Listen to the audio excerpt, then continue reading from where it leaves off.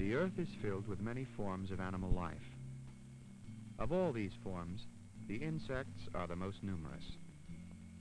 Insects, by their pollinating activities, make possible the growth of an orange tree, a rose, a pea, clover, and cotton.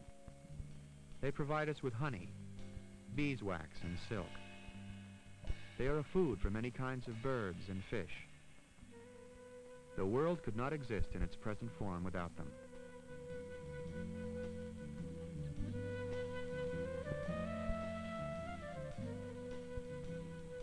While insects are necessary and valuable in maintaining the natural world as we know it, certain insects are harmful to man.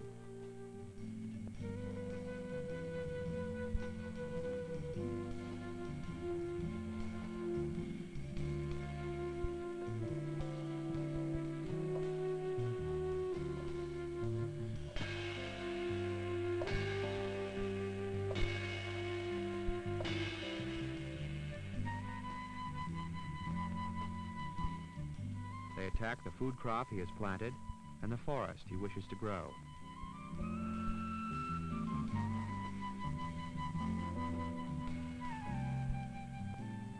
They carry and spread disease, endangering man's health and the health of his domestic animals.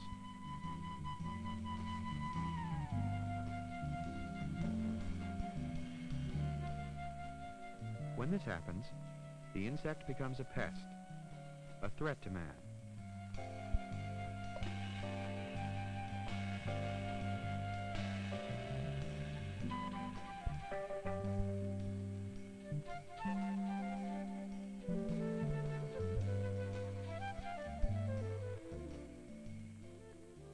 For many thousands of years, man's only defense against the pest insect was hand-picking it from the plant or making attempts to drive it away.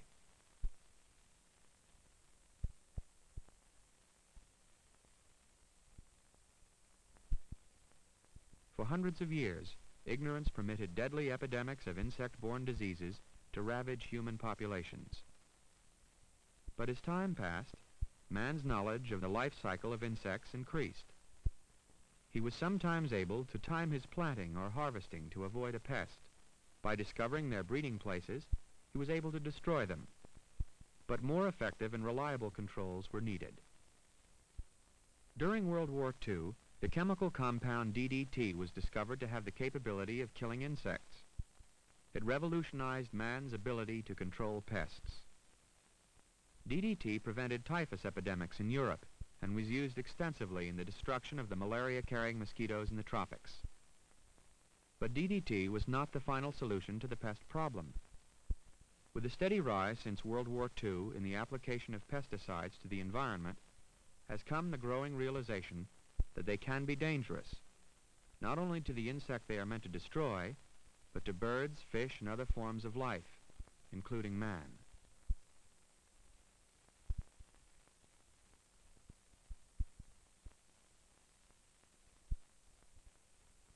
Extensive study of the effects of DDT has alerted us to the dangers of the widespread application of poisonous substances to the environment. But the need to control injurious insects remains. The question arises, how can we prevent pest insects from doing harm to us, and at the same time, how do we not harm ourselves and those animal species we need? One answer is biological control, or the development and use of non-chemical means to control harmful insects. Work being done with the gypsy moth illustrates the different approaches to non-chemical insect control now being investigated. The gypsy moth is a forest defoliating insect. It was first brought to this country in 1869 by a naturalist who wished to develop a silkworm, hardy enough to survive the New England winters. The moth escaped from his laboratory, and because it had no natural enemies in its new environment, soon multiplied and spread, causing extensive damage to the forests of the northeastern United States. A variety of steps taken to destroy or halt the spread of the moth over the past century have failed.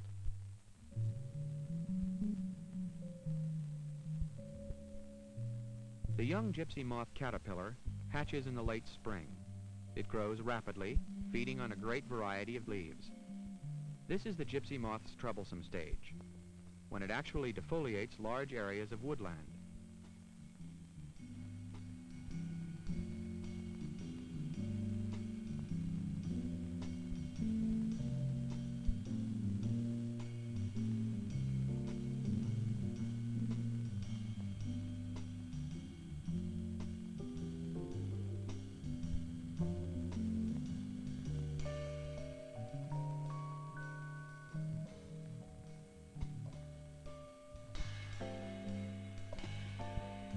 An attempt to halt the destructive insect, scientists are now investigating non-chemical means of bringing it into balance with its environment.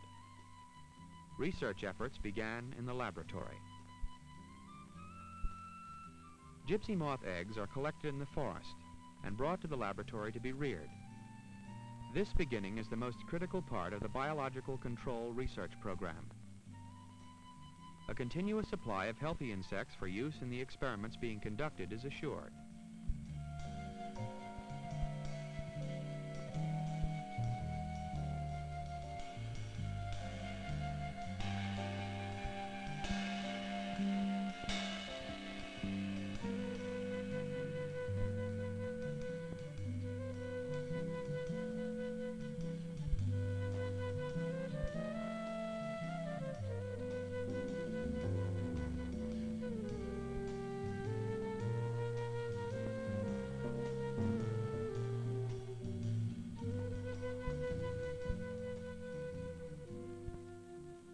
One possible way of controlling harmful insects is by spreading disease among them. Entomologists have discovered two microorganisms that are fatal to the gypsy moth, a virus and a bacterium. When fed to the moth larvae in the laboratory, they cause the larvae to die. But the laboratory is one thing, the field quite another. To be effective, the virus and bacterium must work in the forest. Scientists set up experimental plots in areas infested with gypsy moths.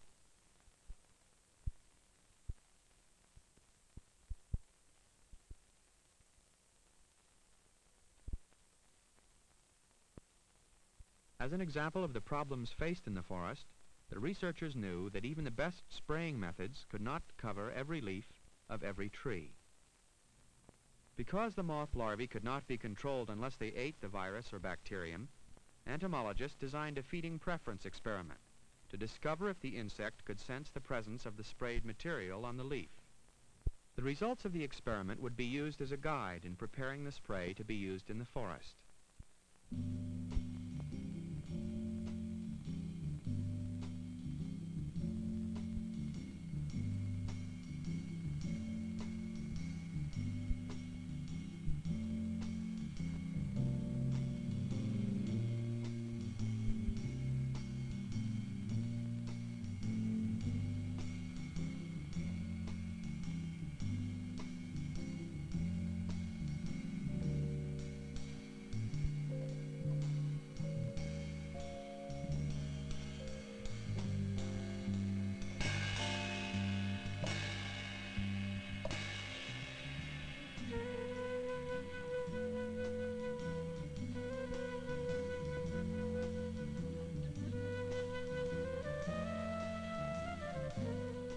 Scientists also discovered that the virus was destroyed when exposed to the rays of the sun. A material had to be found that would protect the sprayed virus. In another experiment, researchers mixed the virus with many different liquids and sprayed the mixture in the forest.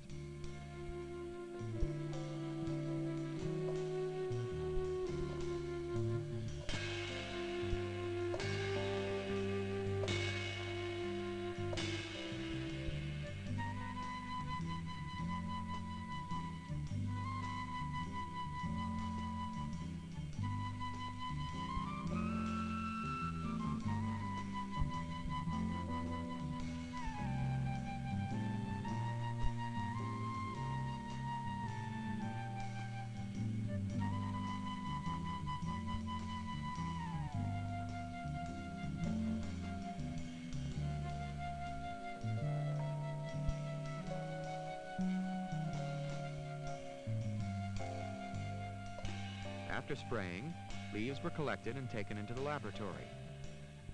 there they were fed to the laboratory-reared insects to see if the mixture was effective in protecting the virus from the sun's rays. The most effective mixture would be used in larger sprays. While research continues in this type of biological control of harmful insects, other approaches are being investigated. Entomologists now know that many kinds of insects are the natural enemies of other kinds. Insects do more to keep themselves under control than man could ever do. The use of natural insect enemies to control harmful insects is another aspect of biological control. A predator insect is one that devours its prey.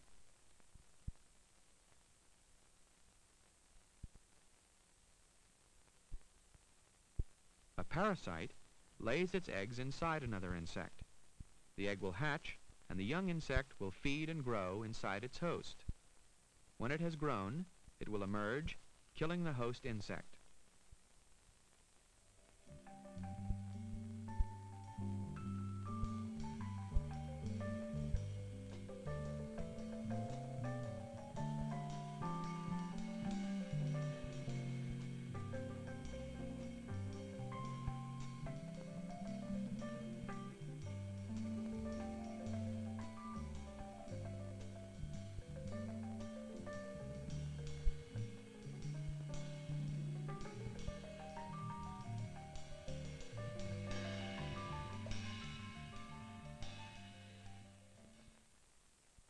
Find out what parasites present in the forest will attack the gypsy moth, cages containing gypsy moth pupae, the last growth stage before the insect becomes an adult, are placed in the forest. By using this method, entomologists found that this small wasp-like insect was a parasite of the gypsy moth pupae. Research has indicated that it may, in sufficient numbers, be used in the control of the moth.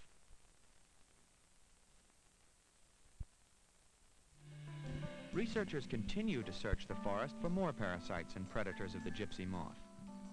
They continue laboratory experiments to better understand the relationship between a parasite and the insect it will lay its eggs in.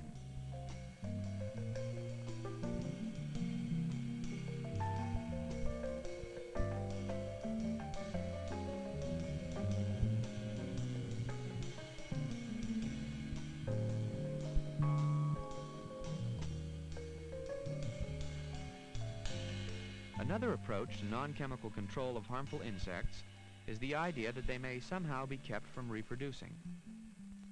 The female gypsy moth is a poor flyer. Weighted down by the unfertilized eggs she carries, she tends to stay in one place. To attract the male, she sends out a powerful odor. The male finds her and fertilizes the eggs. Scientists have learned how to manufacture the sex attractant of the moth. They have placed the attractant in traps to find out if they are able to catch the male before he finds the female.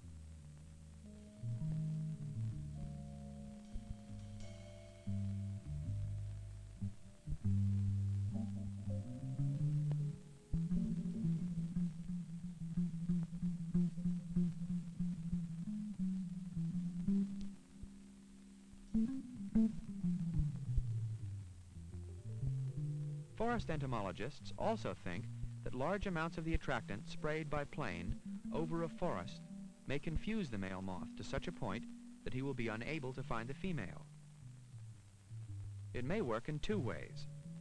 By spraying a large amount of the attractant over an area, thus creating many attractive points, the male may be unable to pinpoint where the female is.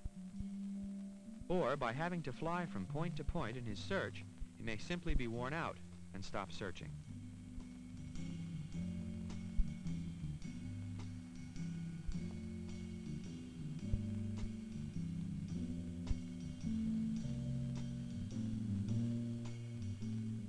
Prior to spraying, researchers place male and female moths who are ready to mate in the forest.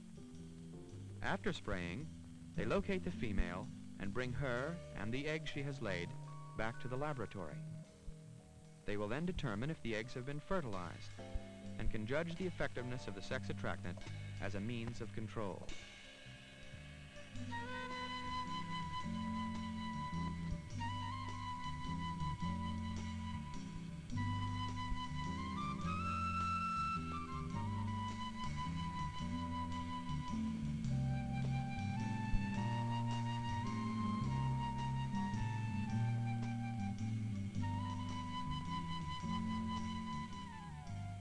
Before we know whether or not any of these non-chemical control techniques will work against pest insects, more research is needed.